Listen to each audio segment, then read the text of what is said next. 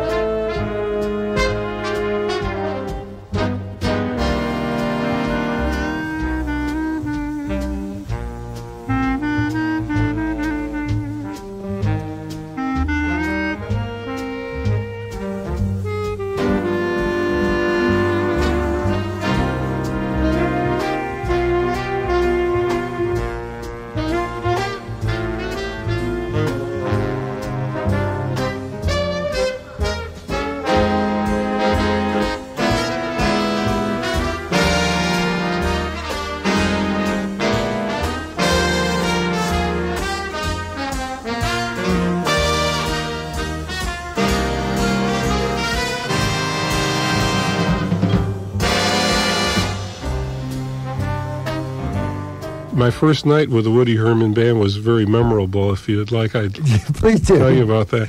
Well, I got there early. I flew in, and uh, it was the third day of a three-day jazz festival yeah, in Pittsburgh. And uh, here comes Dizzy Gillespie and James Moody and Dave Brubeck and Paul Desmond, and I'm thinking, my God, what am I doing here? and uh, I'm I'm in the dressing How room. How old were you at the time? Oh, at that time I was uh, 25, 26 years Yeah. old. And uh, Woody walks into the dressing room and he said, uh, he turned to me, he says, Are you the new bass player? I says, I am. He says, Well, I'm Woody Herman, as if I didn't know. and he says, The guys will be along presently. I thought when they did a stage show like this that they would have all the numbers selected prior to the performance. And uh, much to my surprise, when the guys got there, and I, I knew several of the uh, fellas in the band besides Sal Nistico and Ronnie Zito, he says, no, they he just calls them on stage. I said, you're kidding. And here, there's this book about four feet thick, pages torn, corners missing, and here you're holding the string bass and you have to reach down with one hand and fish out the music. Uh, I said, well, do you have any idea what he might call? So we went through this process of pulling out all the probables, and I had them on top. So we, it's our turn to play, and uh, while the curtains close and we're the closing act, Woody decides to bring us down. It was like in tears, and and uh, he wanted to. T E A R S. No, no, I, I was almost in T E A R S, but he wanted to bring us down one level. So stagehand comes out, picks up my stand, and spills my music all over the stage. And he picked up. They just picked it up. It was upside down, backwards. Threw it on the, the stage. I mean, on the uh, music stand, and the curtain opened with his familiar theme song. And there I was, and I just looked up at the the heavens, and I said, "Dear Lord, Give me, me out." give me a key. Yes. in uh, in uh, uh, Nat Pierce, the piano player, was to my right, and Ronnie to my left, and they just said, "Watch us, we'll get you through it." And luckily, I was able to, uh, to find or play by ear most of the charts. And after it was over with, he came up. He says, "You did a great job."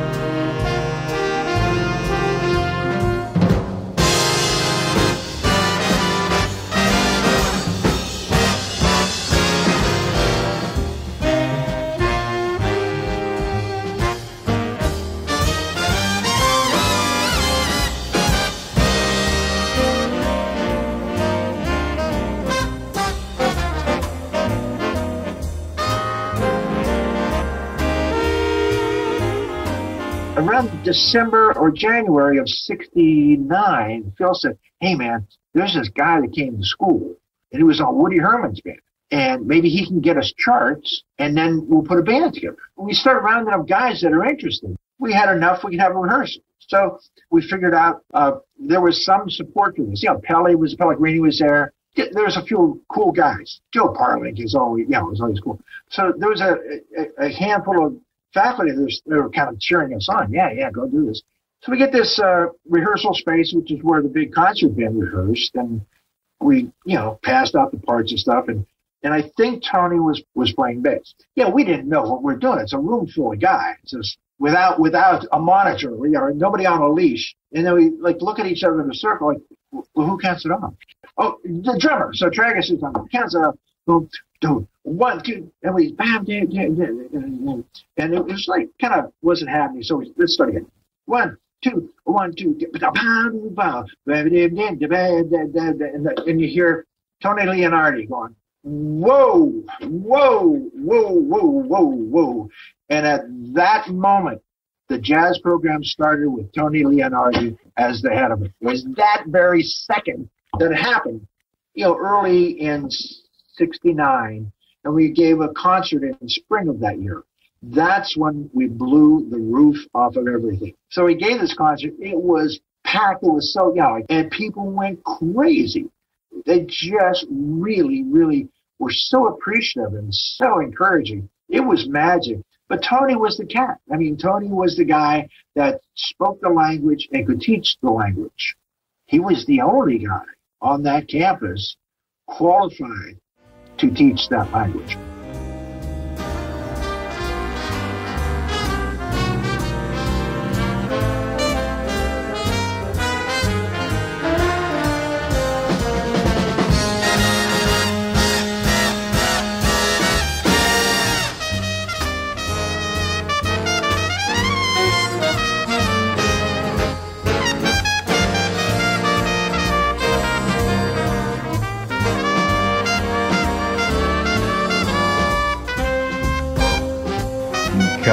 Going to the Wichita Jazz Festival.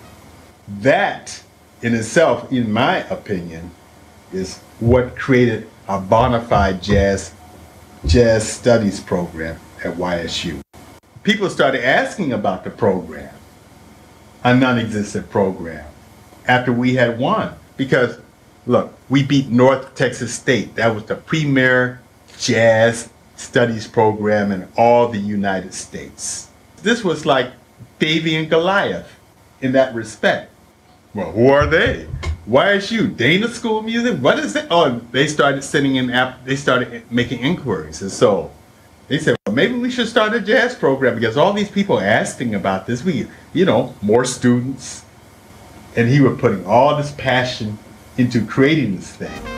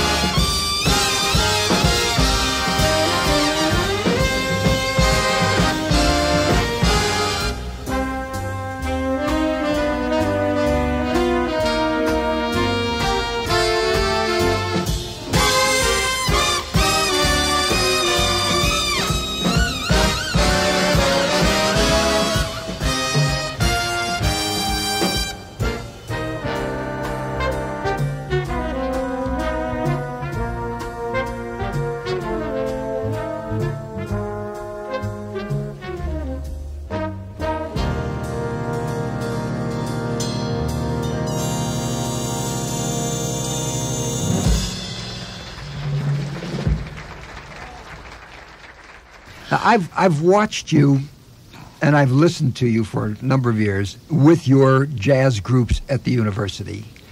And the crowds have gotten bigger and bigger each time. And this year, I think we're going to have to find a hall for it because um, it, it, just it, it is a tremendous night. And I, I, I wonder if many people in Youngstown know that these are championship jazz groups in competition throughout the United States. And there seems to be such a rapport between you and your mus- musicians. They respect you. They seem to um, accept what you tell them. And I listened. I spoke with Gunther Schuller when he was here, and he had tremendous ad- admiration for what you were doing at the university. Uh, the classes are oversubscribed. You're bringing in musicians from the entire area. It's just a wonderful thing to see.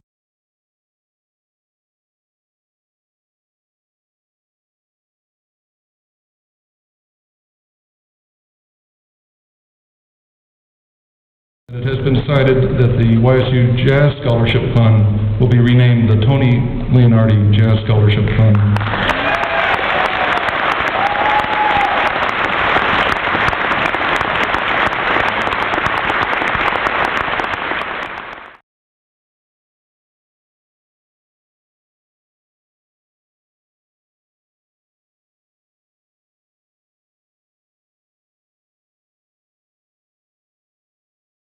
place um, to honor my father. This is long overdue. Um, my father touched so many lives, so many lives, and his legacy continues on through all of the people that are here this evening. And um, for the past 22 years, I felt that I would do anything in the world to have one more day with my father, and this is as close as I can get.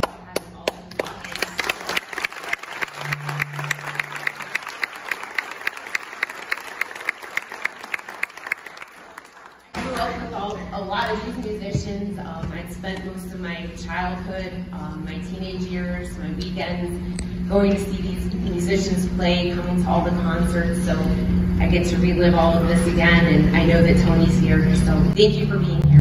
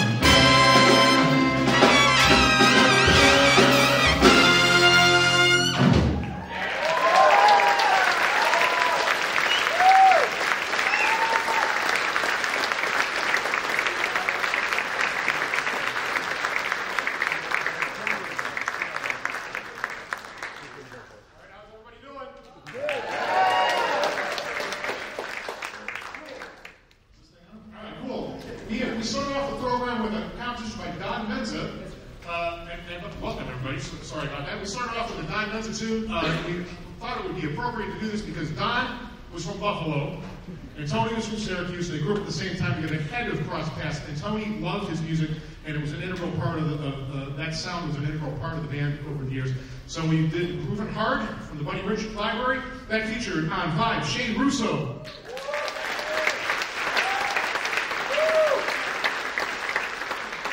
Jason Rigby on tenor saxophone. Coming off his European tour with Mark Guiliana. He just got back in the States a couple days ago and he's here. So how about his hand for Jason? He doesn't know what time zone he's in, so it's okay. And how about that saxophone section on that solo?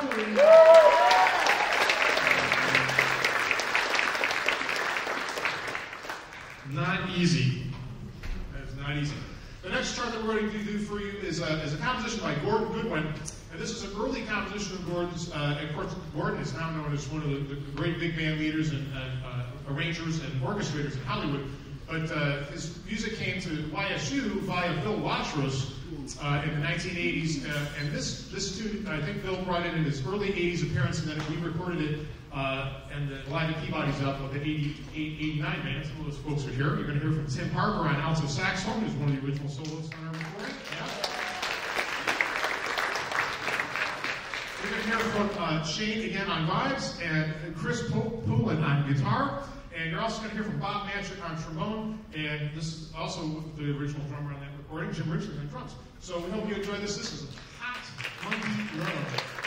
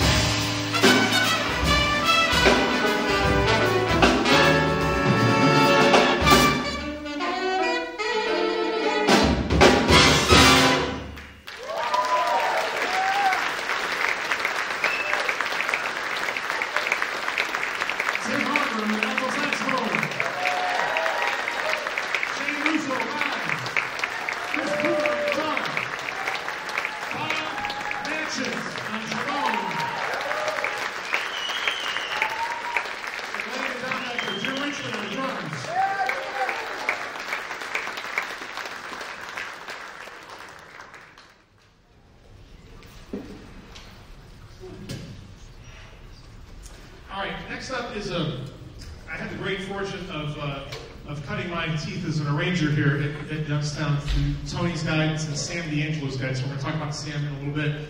Um, this next arrangement is, uh, is something that I wrote for Tony after I moved on from the program uh, and, moved uh, to Maryland out of, out of the Ohio area.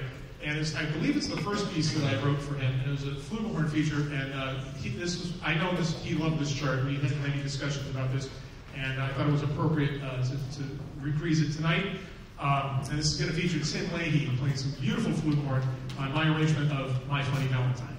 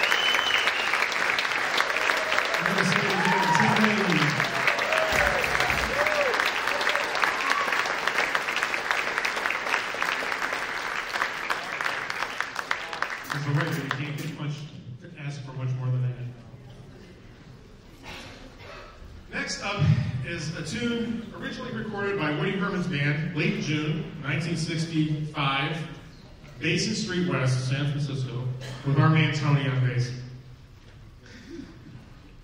When I was a freshman here, Tony had Sam D'Angelo transcribe this arrangement. We're playing off of those, those parts right now. And this is a, if you came up through the bands, this is a special tune for you because it epitomized the swing that Tony wanted from his students. Um, it was recorded by man on uh, When Tomorrow Comes, the original piano player from that recording, Dave Show, is playing with us tonight. You're also going to hear from Jim Metzendorf on tenor saxophone and Doug James on trumpet.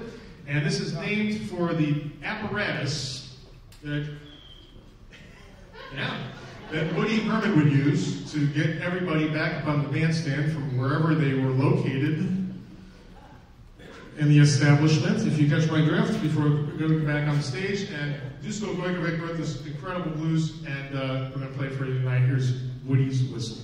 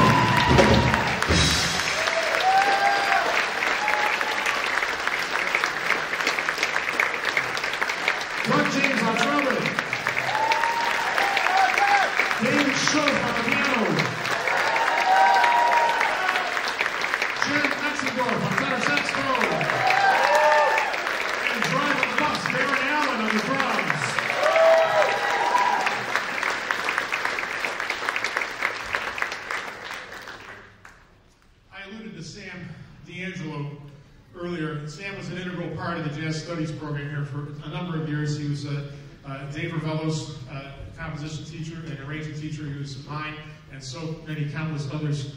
Uh, and we're so blessed to have him. He was a, a contributor to the program with, that transcription. And we're going to play an original composition of his that was uh, played here over the years as well. And uh, Sam's writing had just, um, I, I, had the right notes on here because I knew I was going to like forget things I was going to say. His tunes encompass great melodies, uh, beautiful harmonies, and an economy and purpose in his writing, which was a great role model for me, the overwriter.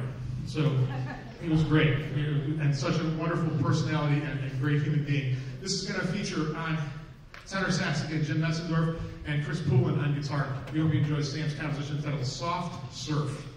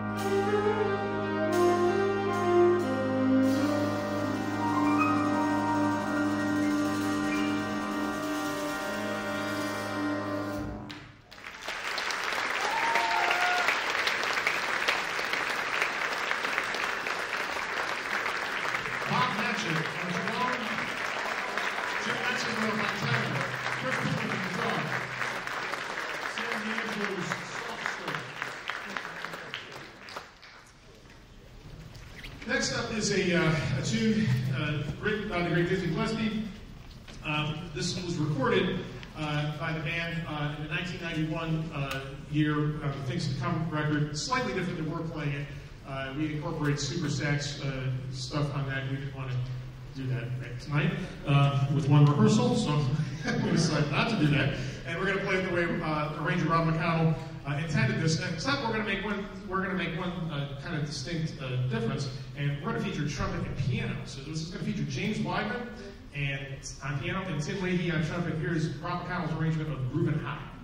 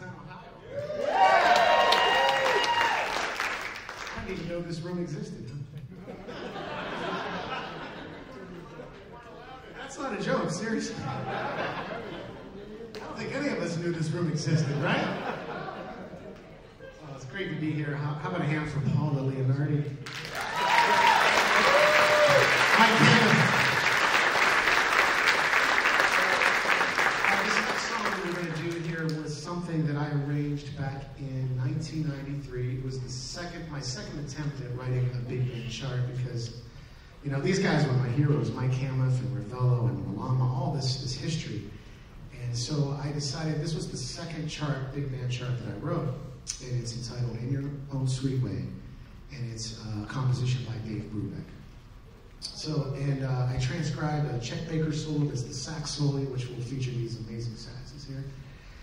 And uh, the, the thing is, is when Mike asked me, he said, "Do you have do you have a copy of that chart?"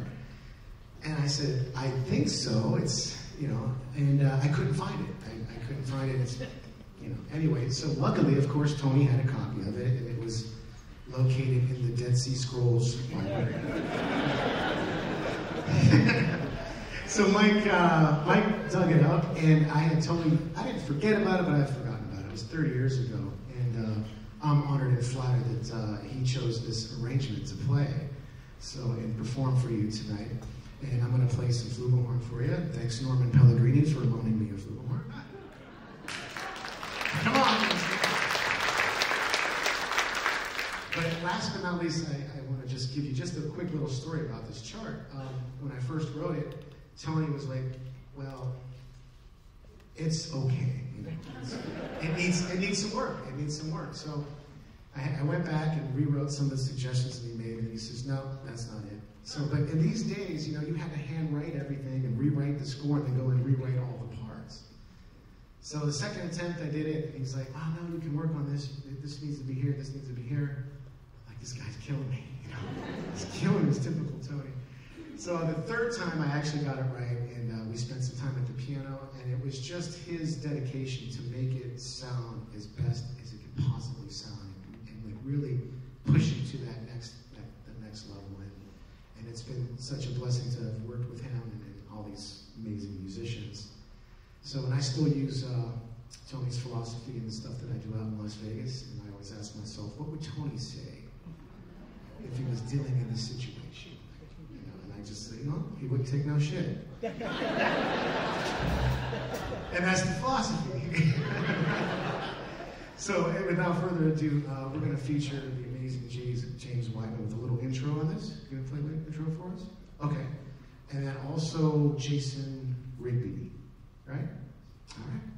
Here's In Your Own Sweet Way, James White.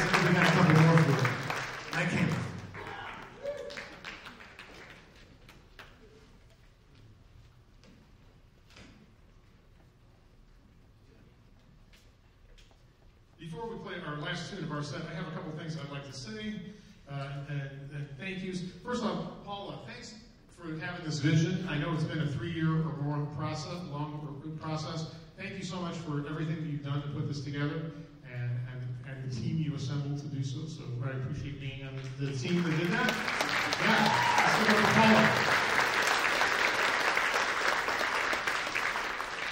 And if you don't know, you better go ask somebody about Joe Carucci because he is the real deal. The Dana School of Music and Youngstown State is uh, is very, very fortunate to have him on board as the director of, of the Dana School of Music. So can we give it up for Joe? He's been, his hospitality, his efforts in this whole evening have been amazing. Thank you, Joe. Back in the Also want to thank my brother from another mother, Eric Dregne, for all his help with our music. Uh, and again, all, all the bands have the right stuff to practice. Thank you so much. And help me thank this incredibly amazing ensemble of, of cast of characters, as some you might say. Our saxophone section, Jason Rigby, Doug Butchy, Tim Parker, Tim Metzendor, Jonathan Lingo, and Matt Corey. Our saxophone.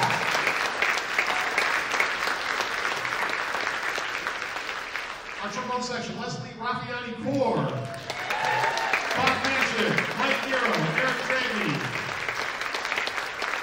Our trumpet section, Tim Leahy, Brian Burse, Dave Rico, Bud James, David Evans. Cameras in the wings, Nate Schoaf,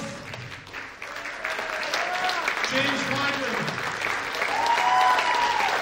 Shane Russo on vibes.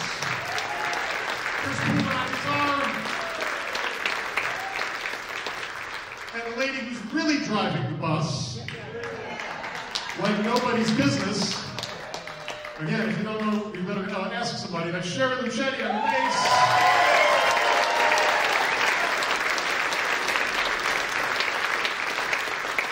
The original bass mama. We don't mess with Italian women in the band. We all know better. And, and on drums, uh, uh, uh, we couldn't have had a better Calvin Clay, the drummers back here. Jim Richley, Darren Allen, and Greg Parnell.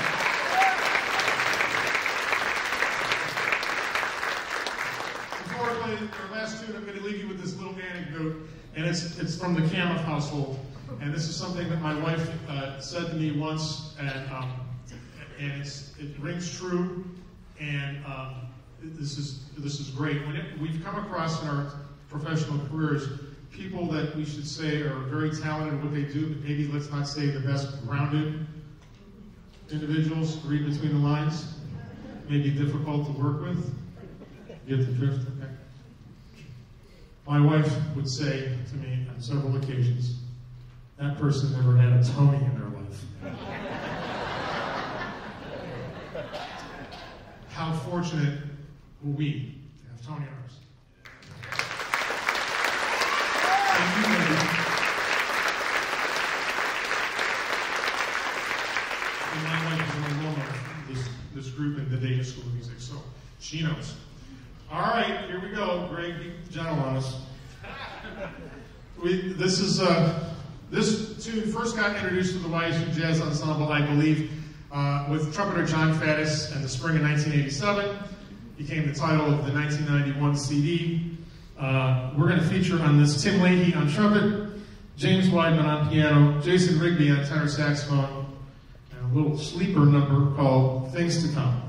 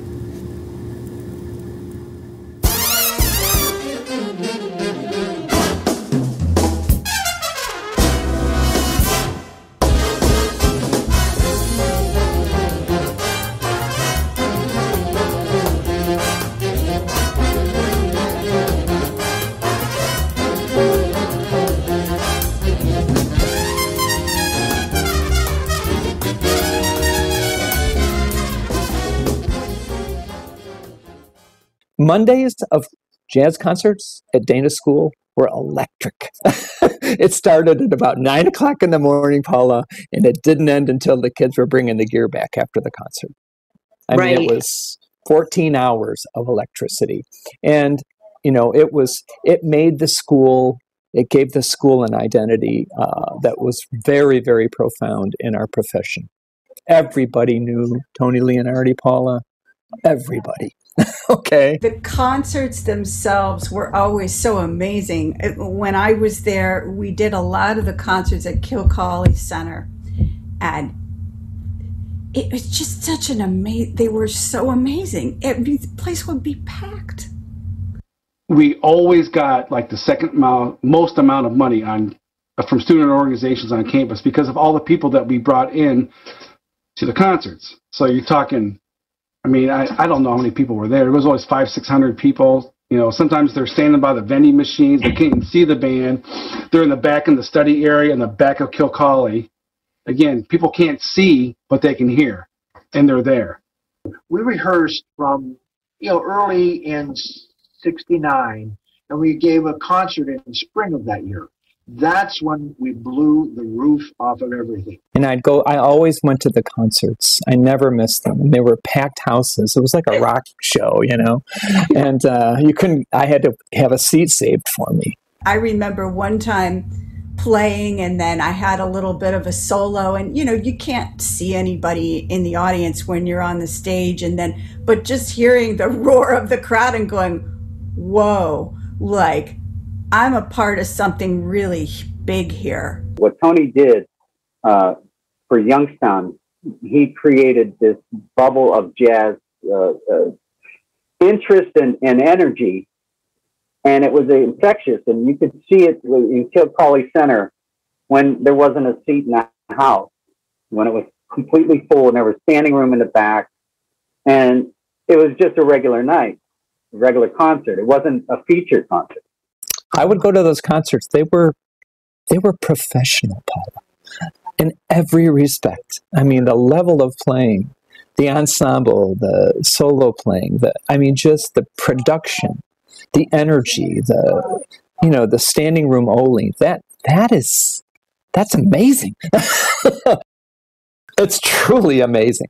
And that was all Tony. Your dad was a character. You know that, right? Yes. It's you can't talk about your dad in the stories. It's impossible. We we all do it, every one of us, and not go into his voice. You play with the intensity of a wet noodle. Then what the hell? Dude, get on top of the beat, you know, like and just like be all over me wherever I was at all times. It seemed like he'd pop out of doors and you know. What's the matter, Whipple? Have you got that far in the Rubank book yet? you can't play right rhythms and you can't play in tune, there's not much else left. Do I need a neon sign to tell you when to come in? What the hell? We got guys in the Middle East flying five hundred million dollar planes, and you can't play a two hundred dollar trombone. When you get to the bridge, jump off. What the hell are you doing? So during one of the set breaks, we started playing bocce ball because they had that big bocce ball court down there. And so we're playing bocce ball, and then the band starts playing again, and we're still playing, and your your dad was there. They sit down, keeps on keeps on doing this while we're playing basketball, ball. The band's playing. He just keeps on turning around, and then Well, the next day in school, in in jazz improv class, your dad walks in, and everything seems fine. You know, it's, he's just quiet, not saying anything. He's like, "Rocco, stand up. Alan, stand up. You want to tell me what jazz has to do with bocce ball?" he comes down to the front of the band room, and he he asks like these three or four people. He's like, "Could you stand up? Could you stand up? Could you stand up?" And they get up, and they think they're ready to play Yardbird Suite or Scrap from the Apple, whatever we were doing. Just they're all getting ready like this, and then your dad asks one of the most famous questions in my time there. He said, in, in his demeanor changes immediately. He said, "Fellas, what does bocce ball have to do with jazz?" he pounds his fist. He's like, "I asked you guys a question. What does bocce ball have to do with jazz? I want to know why at Pyatt Street last night you guys weren't listening to music. You thought rolling these balls around the floor was more important than listening to what was going on on the stage. Aren't you jazz musicians?" And he just goes off. and just starts the whole class period just going off. And honestly, he's making 20, 21 year old boys just start crying. I mean, they're crying. he gets he gets done. He's like, he goes, get out of here and compose yourself. And and like the rest of us are sitting there. It's like, oh, please don't have us stand up and play now because I won't sound good, you know. Um, but he made his points. He was all about active listening. Hey, did you come here to listen to music or talk? I'm playing bass trombone, and and my nose starts to bleed. And and your dad said something to the effect of, "Look, now that guy's trying." I kept playing a B natural instead of a B flat, and he said he stopped the band for like three times and looked at me. and goes, "Did you mark it?" And I went, "Yeah," but I didn't mark it. So I missed it a third time, and he stopped the band, and he got kind of quiet. He said he looked up from his glasses, pulled them down, and said, "Did you mark it?" I went, "I'll mark it right now." So that means I lied the first two times. So before I could grab a pencil from from Teddy DiSanti, he grabbed the pencil and flung it back there and went right past my head. Oh. And we stared at each other for a moment. oh. and he was mad at me, and I was mad at him. And picked up the pencil, marked it in, and I was just mad the whole rehearsal. And I played my ass off for the rest of the rehearsal. you know, he, would ask me how many tempos I'm going to play. He had this red sweater that he would wear a lot. And we seemed like we always knew when that red sweater was on. So something would happen in a committee meeting or something that would piss him off. And then he just, first of all, he'd be coming down to rehearsal right at 3 o'clock, all huffing and puffing. And he's like, oh, shit. And he's wearing a red sweater. But the greatest thing ever, though, and the most uplifting stuff, though, was like if you were in a rehearsal and things weren't going well and he's just mad as a hornet and he's yelling and yelling and yelling. He, sometimes he'd get done and be like, oh, yeah, and you can't play time. You sound like you're building a house back there on the drums. And who t- I'm embarrassed to be your bass teacher. And hey, nice solo. Boy, Greg, man, you really sounded great tonight, you know. And I came back the next day and I, I played the solo and he went, yeah, you know, and said a few choice words that were positive. That's the way you play that effing trumpet, you know? And I, it, I had chills going down my spine because I went, I put a smile on Tony's face, and he wanted to see you succeed. He wasn't just yelling at you to yell at you. Give me that bass, you know, and then he would grab it from you and say, "You're not getting it. Let me show you." There's a candor to the guy that is so vivid, right? I mean, Tony Leonardi was bigger than life. We use that word too often, but Tony Leonardi was truly bigger than life. Our eyes would get like this. Tony's here, you know, he he started calling me the Italian stallion one day. And so I call I called him that too. So what's up? And it, and it turned into kind of like shorthand where we pass each other in the hall. He's like, "Hey stallion, what's up?" you know, and that was kind of our thing. You know, it was it was it was stupid, but it was really you know he we were the Italian stallions to each other. Bob, the next time Paula calls the radio show and requests a jazz tune, he's like, "Tell her she needs to go to bed." His teaching methods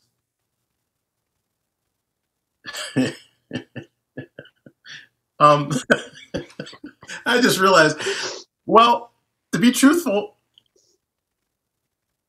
all, any of us that are teaching at, at, in, in universities around the country will probably be fired if we taught the way Tony taught. Are there any other uh, Tonyisms that you remember? Things that he uh, was known for saying. oh, that, that I can mention here? Yeah. but he really cared. I mean, to the point of like, what classes are you taking this quarter? you know, and he wanted to see what are you taking how many credit hours do you have now are you know what's your what's your plan what are you going to do after this like you know what do you want to focus on what a legacy i mean it, it, this is not a joke when you say the, the Tony Leonardi legacy. It's it's a true legacy. But yeah, without Tony, I never would have become a jazz musician, and I probably wouldn't be playing today.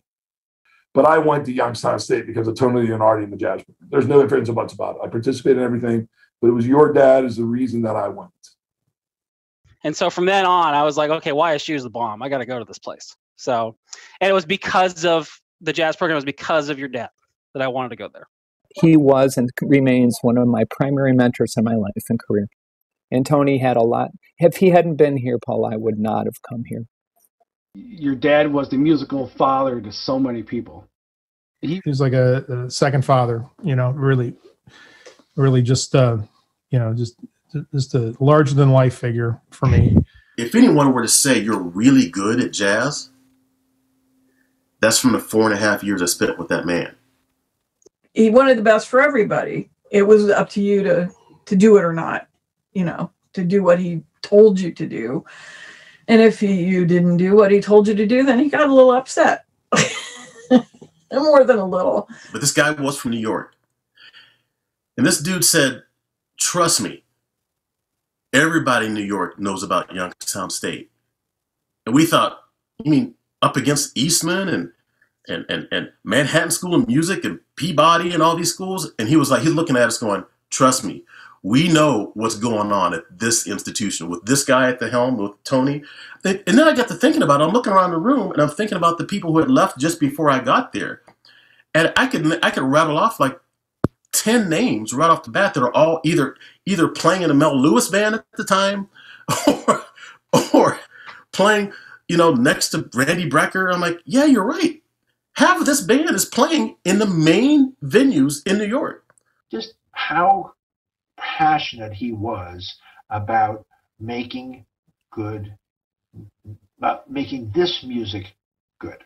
I think uh, you know passion comes to mind. He was a very passionate person about a lot of things. Definitely jazz, definitely teaching, and um, I think that he was pretty intense too. He could be intense in rehearsal, and um, you know he's very demanding. Um, you know, he expected hundred percent effort from you, and if he he noticed you weren't given that, he was he was pretty much all over you. You know, you you were in the hot seat in any chair in that group, but especially as a drummer or a bass player. You know, um, you know he held you accountable and um, let you know when you weren't doing it for him. You know, you know these are just regular people that uh, were attracted to the school primarily because of Tony Leonardi and once you got there, uh, you either had to put up or shut up, you know, and and uh, there there wasn't uh, you weren't allowed to just get by. The way he drives the band is like it's you know I just he goes there should be a study in Tony Leonardi bass lines. So so that's what you know the legacy that he's left. Um, his passion for what he did uh, his extraordinary talent. I mean, that, sometimes I think that gets sidetracked by you know the fireball that your father was, uh, and and also his his passion for his students and his love for music, his love for YSU. It was genuine. He was authentic. He was honest all the time, and so you really had to rise to the occasion you, you could come in there and just slouch. You had to be prepared to play. And you had to be passionate about what you're doing. And I think that you will find that from many of the members that you will talk to from that ensemble, they come away with that idea of being dedicated to what you're doing. And that was every day. The intensity that he would bring and it was meaningful and it was laser focused. So you had to rise to that. And if you didn't, you would get burned. The man had a way of, of um, if you had it in you, he had a way of, of bringing the best out of you. Youngstown and Tony Leonardi were uh, inexplicably connected. People talked about Tony Leonardi and the YSU Jazz Ensemble in their profession, and they should have, and they still do. Tony was the best big band director in America. I'll tell you that. There's no doubt about it. And I worked with Rayburn Wright at Eastman. I mean, I I spent some time with people, and nobody could do with kids what Tony could do with them. You know, selling, marketing the school because your dad understood all. They brought those amazing artists here. Oh my gosh, the best, finest jazz musicians in the world came here and played. you know, I wouldn't talk about that. I mean, it was world class, seemingly every semester, every quarter. We have this one thread in common We all studied with Tony in one way or another. We have that in common. We got we got educated by a great man, a great educator, great bass player. So we have that in common forever. It's very cool. It's so exciting. It's so beautiful. I mean, this is where it started. This is what we have in common with this this man. Me, Sean Jones, Tim Leahy, Palumbi, Ralph Lalama, you know, uh, uh, the list goes on and on. We're the roots. We are the roots. And we're going to take those roots and give them to somebody else.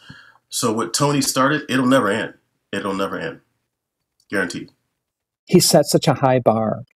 Um, and I don't, while there have been some accolades, I don't think there have been enough. There should be a Tony Leonardi wing in that building. He kept, that school was on his back for many, many years, and you know that. And that's what Tony did every day of his life. He made the world a lot better place.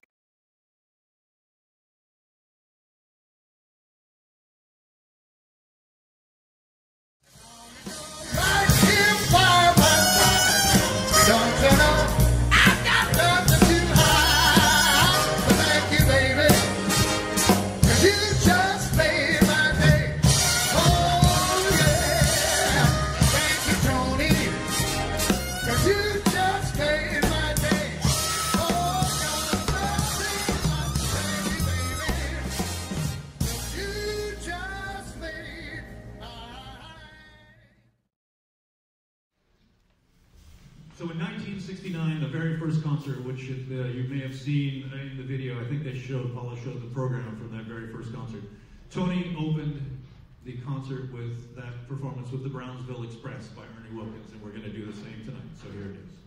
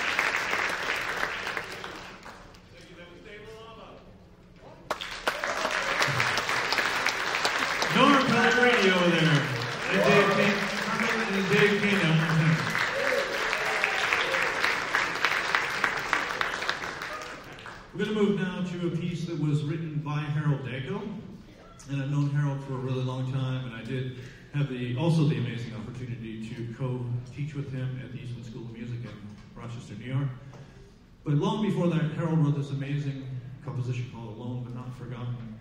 And at some point, I don't remember when, but Tony brought in Glenn Wilson as guest soloist, I think maybe with also Harold on piano. And Tony commissioned me to write this arrangement for that concert. And I can say that I probably have plenty of favorite tunes, but I love this tune and the simplicity of it. And so Harold's going to join us on piano now, and you're going to hear from Glenn Wilson on baritone saxophone. This is Harold Alone Not Forgotten.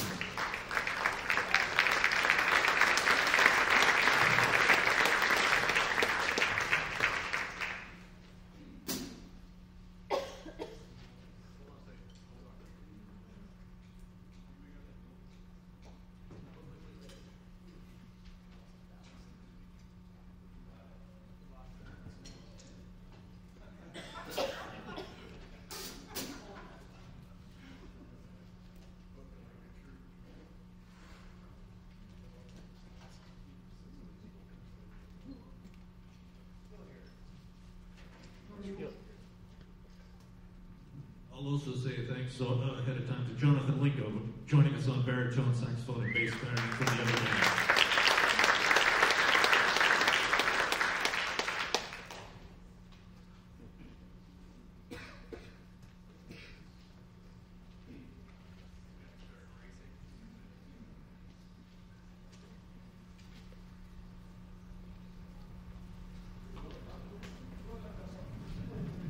Sure, I'll talk about Tony for a second.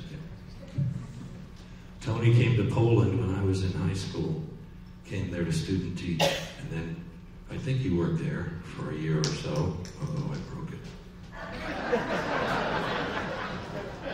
Sorry. I don't know why they always do this. Anyway, it was a great pleasure for me to know Tony and to be a he was a mentor and a friend and a bandmate many times. Uh, you saw that picture up there of Dave and, and I and Ralph Lalama with the Buddy Rich band. But what you didn't see is uh, that was at Idora Park, and Tony was playing bass with us that night because we had fired a bass player every night for the last four or five nights. Not we, Buddy did.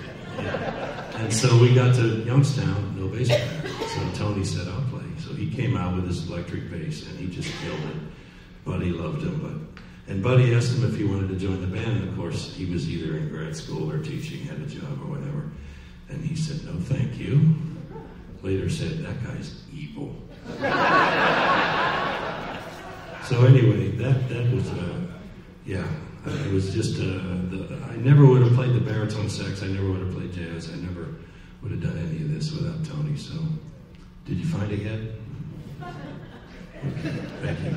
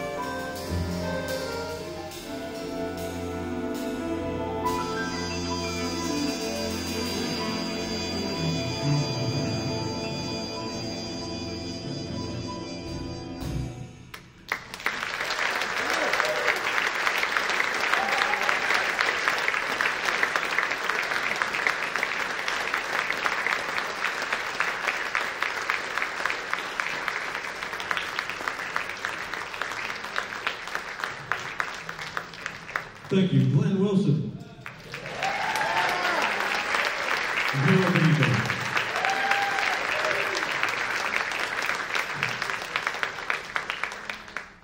Several years ago, when Tony was still with us, he did a concert that featured the three of us that were kind of writers that he guided in, in a similar way to, I think, that especially Woody Herman kind of guided his writers that were in his band. And so Mike Kamuf was after me, and I was after Dave Lalama.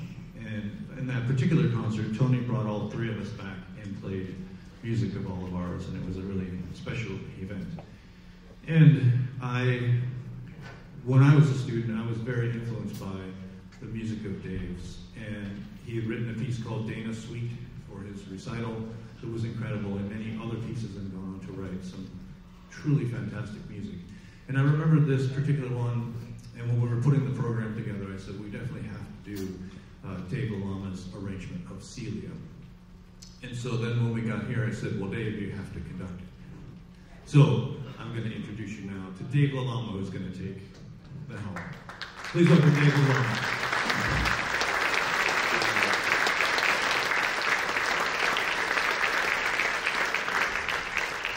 Powell wrote this tune, this wonderful bebop tune. If you don't know who Bud Powell is, he was the Charlie Parker of the piano during the bebop era, one of the most important American musicians ever. And he wrote this lovely bebop head for his daughter Celia. So those of us that have children, every time a child is born, we write a song for them because of Bud Powell.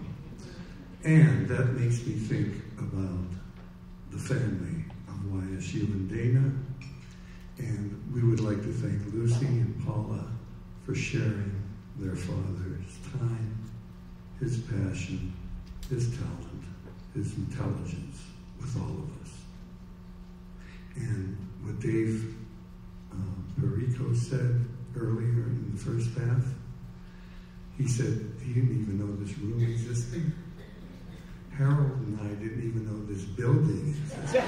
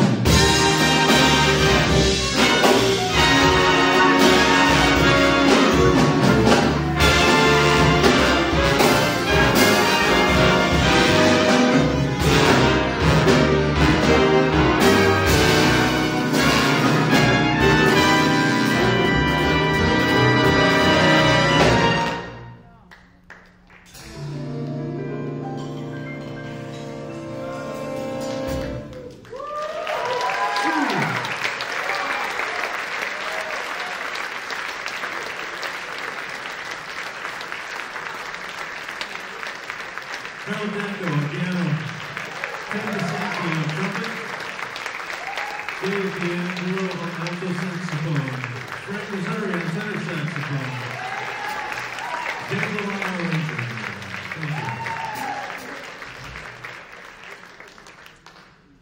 to play another piece that Harold wrote and recorded on an amazing record with Gregory Herbert, and um, and, and some other places too. And you're going to get a chance to hear from uh, uh, Daryl White on this, as well as Dave Kana again, and some from Harold Danko up front. This is Harold's tune called Tidal Breeze.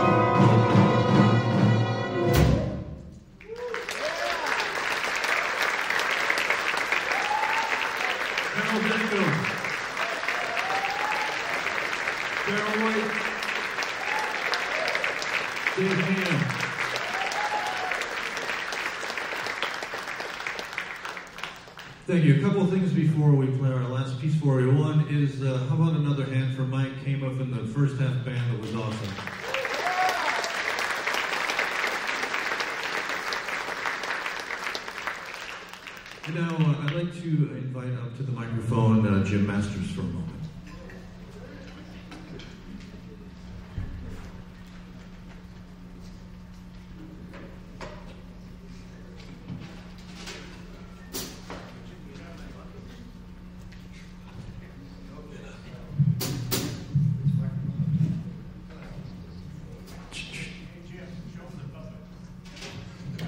All right, everybody's been having an incredible uh, night tonight, wouldn't you agree?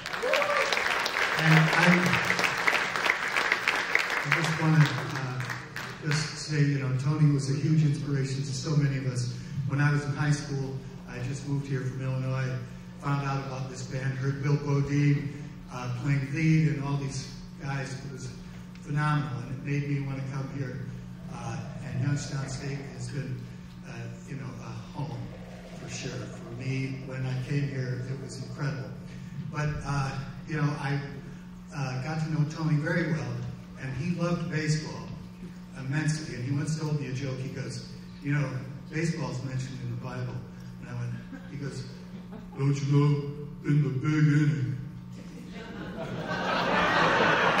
anyway, way back in the beginning of this start, back in the beginning, there was nothing, and then there was Bill Bodine with an idea, and he's one of these spark people. He he starts things, he follows them through, he makes them uh, work, and he got Tony involved.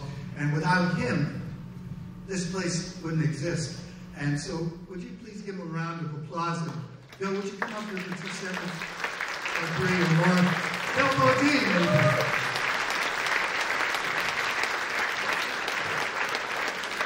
And, you know, so in, in common, started the scholarship. He started, he's done so many things. Uh, and, but we came up with this little award called the Genesis Award. Bill Bodine, YSU Jazz Alumni, uh, acknowledging his love of music, excellence in performance, spirit, enthusiasm, and light. So you can't give him a Tony, so he gets.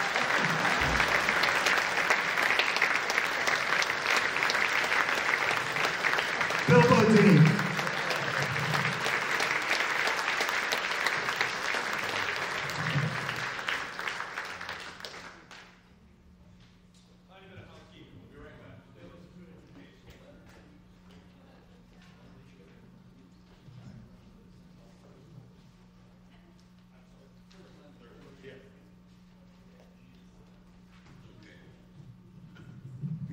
Once again, thank you so much for being here with us and being such an amazing group of people to play for. Thank you so much.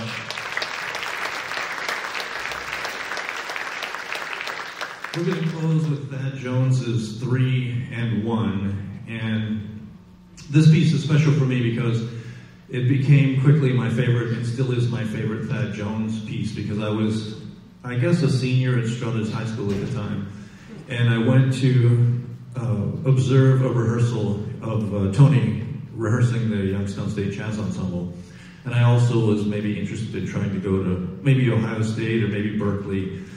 And so I walked into the rehearsal room just to observe, and Tony was rehearsing this piece. And, and it blew my mind what he was doing, how he was rehearsing it, what the band sounded like, and what the piece was, and his taste in music. And in that moment, I thought, I'm going there. And that was it. So I thought it would be fitting for us to play this for you tonight.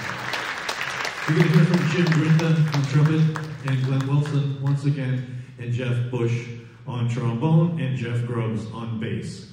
Once again, how about a hand for this band?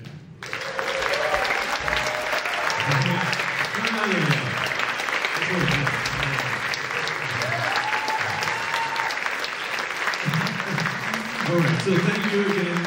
Uh, we're having a package pub or something like that, so if you haven't had enough of us yet, you can join us over there for more festivities. Thanks to Tony for making all of this happen for all of us and for all of you. Here's Three and One.